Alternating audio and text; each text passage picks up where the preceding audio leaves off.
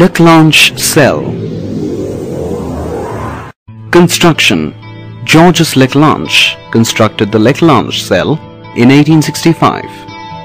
In this cell, a carbon rod is placed in a porous pot containing a mixture of manganese dioxide, MnO2, and powdered carbon.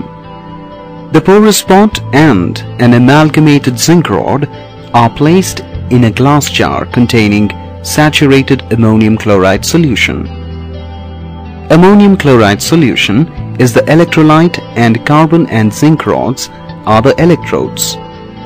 The mouth of the glass jar is sealed with pitch so that the ammonium chloride does not seep out. Let us now look at the chemical reactions taking place inside the cell to understand how the electrodes get charged. Ammonium chloride, the electrolyte, splits into ammonium and chloride ions. The chloride ions move towards the zinc rod and transfer their electrons to the zinc rod, forming zinc chloride. The zinc rod attains negative charge due to excess of electrons.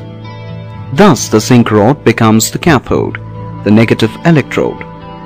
On the other hand, ammonium ions move to the carbon rod.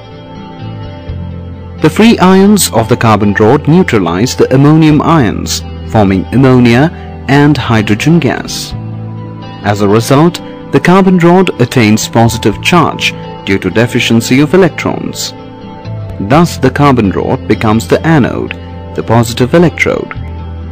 The hydrogen gas is oxidized by manganese dioxide to form water and polarization is prevented.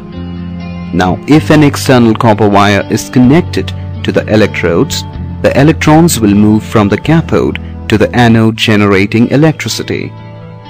The EMF of the Leclanche cell is 1.5 volts.